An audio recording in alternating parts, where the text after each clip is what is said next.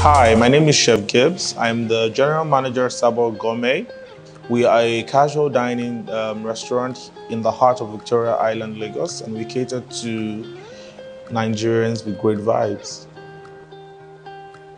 Uh, what do I love most about living in Lagos? I guess it's the rush. It's the it's the rush. It's the excitement. It's the ever bubbling nature of the people of Lagos. We're ever ready to live.